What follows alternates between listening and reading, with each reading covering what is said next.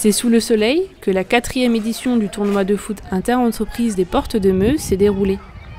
Organisé pour la seconde fois au stade municipal d'Ancerville, diverses entreprises étaient présentes, gendarmerie, sapeurs-pompiers ou encore du secteur du BTP.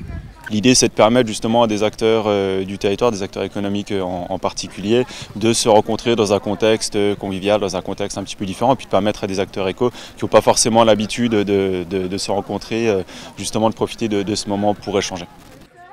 Pour la communauté de communes des Portes de Meuse, cet événement est une réussite. Malgré une baisse de participants, se retrouver sur le terrain est très agréable. Cette année, on a un petit peu moins d'équipes que d'habitude. On est à 9 équipes, 10 euh, équipes, pardon, ça représente 70 participants.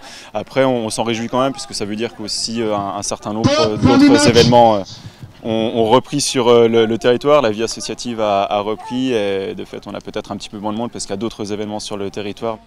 Convivialité était le maître mot. Profiter du beau temps et des collègues était tout l'enjeu de cet événement. On est venu avec des collègues de travail, passer une journée, la convivialité, boire un petit coup ensemble, surtout s'amuser.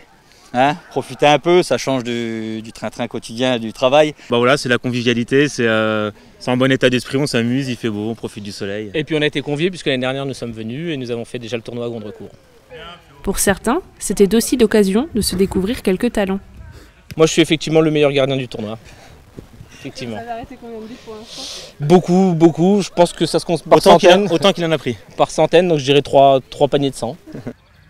Cette édition 2022 s'est clôturée par la finale du tournoi et la remise des récompenses aux gagnants. Tous ont hâte de se retrouver l'année prochaine, sous le soleil et la bonne humeur.